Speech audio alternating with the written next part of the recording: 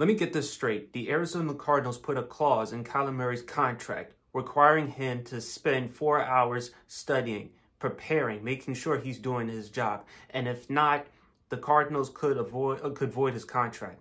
This is embarrassing on both parties. The Cardinals because you're paying this dude, the face of your franchise, a huge amount of money to do his job. Something that he should be doing before he got his money. This is also embarrassing on Kyler because it goes to show you how unprofessional and immature that he is. But it's also no surprise because go back to an article from December of 2021 from the New York Times by Ben Shpigel. Kyler said he doesn't spend a lot of time watching film. So they have to babysit Kyler, making sure that he does his job.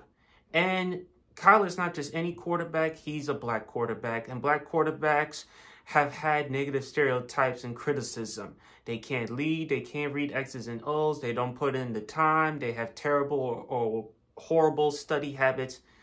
And unfortunately, Kyler just proved all of that. So this is just embarrassing.